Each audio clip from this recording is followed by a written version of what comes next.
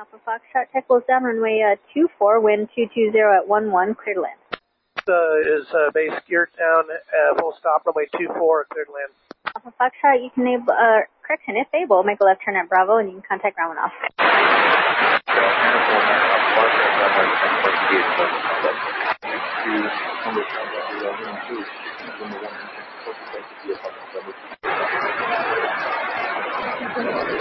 Fifty fifty two. Confirm you check Goose Bay departure. 5052, I'm North Tower, Roger, runway 06 at November 1, wind uh, 230 at 11, clear for takeoff. At 5052, altitude deviation is approved. 5052, uh, say altitude you're climbing to, and once you leave the airspace, are you going to be traveling northeast or uh, southeast? Fifty fifty two will be traveling south southeast, uh, climbing to to uh, fifteen hundred feet. 5052, Roger. 5052, frequency change approved. Fifty fifty two. See you in a couple hours.